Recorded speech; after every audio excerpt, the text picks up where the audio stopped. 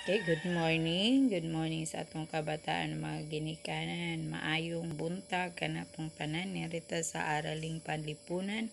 Una nga quarter module 6 kabag-uhan nga mahitabo sa kaugalingon.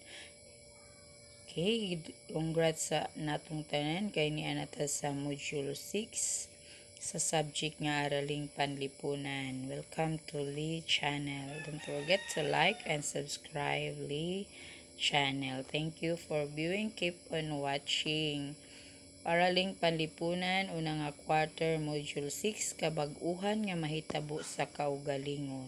So, unsa may mga mahitabo nga kabag-uhan sa kaugalingon sa usa ka bata. Niani nga module, imo makatunan ang pagpa ang mga nagpadayon nga mga panghitabo nga kabag-uhan o kausaban sa imong kaugalingon pinaagi sa insaktong pagkasunod-sunod sa mga hulagway niini. Importante nga makatunan nimo kini aron imong mahibaluan o basabtan nga nagpadayon ang kabag-uhan nga mahitabo sa imong kaugalingon. So ang mga kabag-uhan atong mahibaw-an unsa man ang mga kabag-uhan nga nasa atong kaugalingon. Sulayi kini basaha og tubaga ang mga pangutana pinaagi sa paglingin sa letra sa imong tubag. Asa ani adunay kinabuhi og naay kausaban pagdako o pagtubo? Letter A. tubo man ang bata no niya ang electric fan dili, ang teddy bear dili, ang lamisa dili. So letter A. Ang tanan nga mga tawo makisinete og kausaban sa ilang pisikal nga porma tinuod. Pagkasinati ba o kausaban sa kinabuhi sama sa pagtubo ug pagdakong ang usa ka teddy bear? Dili. Kung atong ihanay ang mosunod nga mga hulagway mahitungod sa kausaban sa pisikal nga porma sa usa ka tawo asa ni ani ang mulahi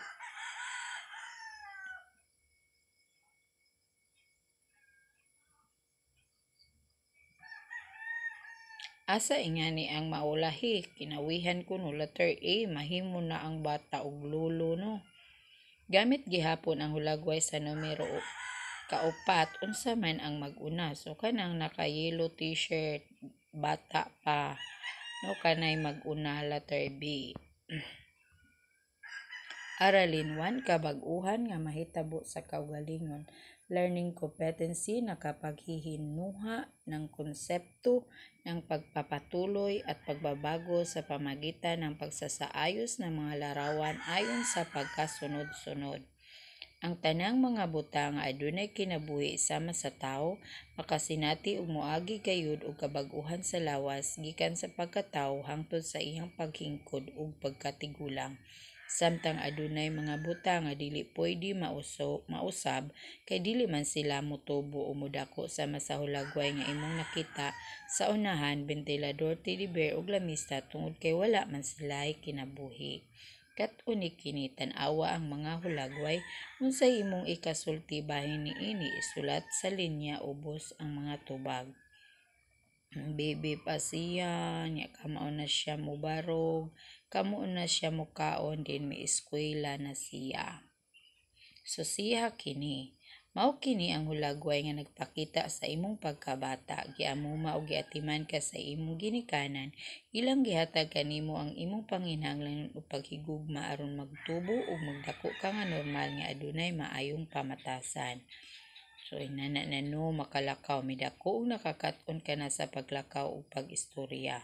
Makahibulo ka na mo atiman sa kaugalingon sama sa pagkaon ug sakto nga kanunon maligo manudlay ug magsuot og limpyo nga sanina. Mieskwela ka nang ug mikaton sa mga butang para sa kaugalingong kaayuhan. Makita nimo nga ang mga hulagway gikan pagkabata adunay kabag-uhan hangtod sa imong pangidaron karon. Susiha ang mga hulag ang hulagway sa kausaban nga mahitabo sa kinabuhi sa usa ka babaye ug lalaki gikan pagkabata hangtod matigulang na. Babaye, mao ni babaye no. Bibi pa siya, may barog na siya nya ang ate midako na niya ang mama niya matigulang na siya no na mama na siya. O siya ra na tanan yung nabag-o na ang iyang Unad pagkabibi na bag-o nga ang katapusan natigulang na siya no. Na ay kabag-uhan ng lalaki sad o tan-awa na asay kabag-uhan sa iyang kinabuhi. Katapusan nagsungkod na himo na siyang lulo so nga ng kabag-uhan. Pagpauswag buhaton A ipakita ang pagpadayon sa kabag-uhan nga nasinati sa kaugalingon pinaagi sa pagsulat sa numero sa duha tulo upat sulod sa kahon aron mahan-ay ang saktong pagkasunod-sunod ang mga hulagway usa duha tulo upat Mhm. Hanay na to siya no. Isulat sa numero nga usa duha tulo upat sulod sa kahon nga naay hulagway aron ipakita sa insaktong hanay pagkasunod-sunod ang kabag-uhan nga nasinati sa kaugalingon. Ato gihapon ni siyang hanay. Usa atong ihanay ang hulagway. Usa duha tulo upat. Oo, naganid ang panghitabo sa iyang kinabuhi. Ang matag tawo hinumdumi kini ang matag tawo moagi og magkasinati og padayon nga kausaban ug kabag-uhan sa pisikal nga porma ug apil niini ang kausaban sa mamahimong buluhaton sa kinabuhi. Buhata kini. Isunod-sunod ang mga hulagway sugod sa una nga mga kabag-uhan sa kaugalingon hangtod midako na. Isulat ang numero nga usa duha tulo upat sulod sa kahon nga ana ay mga hulagway.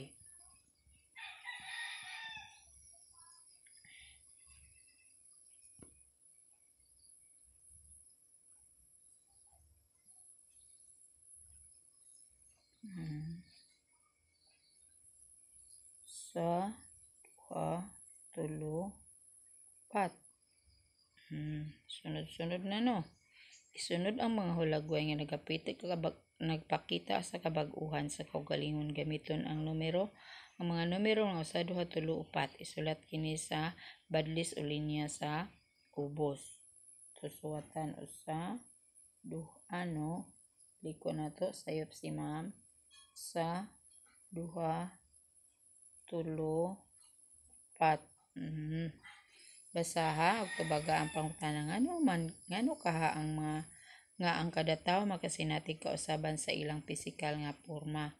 Ngano man kay mutubo man ang tawo mutubo man tano. So kung magtubo ta na agyoy ke na atyoy kausaban ng atong physical evaluation Ihanay ang mga hulagway sa sakto nga pagkasunod-sunod mahitungod sa kabag-uhan o kausaban sa kinabuhi sa usa ka tawo gikan sa pagkabata hangtod pagdako. Buhata kini pinaagi sa pagbutang o pagsulat sa mga numero nga usa duha tulo upat ug upat sa linya sa ubos sa hulagway nga atong butangan og mga ato ni siyang ihanay ya numero atong gamiton usa duha tulo upat Okay. Usa. Tambalikon. Usa, duha, tulo, upat. Hmm, yan ay man. Tigari pod. Babay na pod. Sa, duha, tulo, upat. O katapusan ano tiguang na siya. Sa, duha, tulo, upat. So, ang kinaunhan, ang bata pa kaayo, no? Irisad, usa, duha, tulo, upat. Dire, usa, duha, tulo, upat. So, tigulang na sa awahi mga buluhaton direksyon ihan ay ang mahulagway sa sakto nga pagkasunod-sunod mahitungod sa kabag-uhan o kausaban sa kinabuhi sa usa ka tawo. Buhata kini pinaagi sa paghanay o pagplastar sa pagsulat sa mga letra sa linya. Okay, ag una A B C D. Hmm. Dire number 2 Una, C, D, B, A. Number 3, C, A, B, D. Number 4, B, C, D, A. Gani ron pagkabata parong sa tigulang. Number 5, A, B, C, D. Okay, daghan kaayong salamat. Mauto atong module Araling Panlipunan, unang quarter, module 6, kabag-uhan nga mahitabo sa kaugalingon. Daghan kayong salamat sa pag-view sa atong module 6, Araling Panlipunan. Don't forget to like and subscribe lead channel. Thank you so much sa atong mga ginikanan na guide sa ilang kabataan nga naa sa grade 1.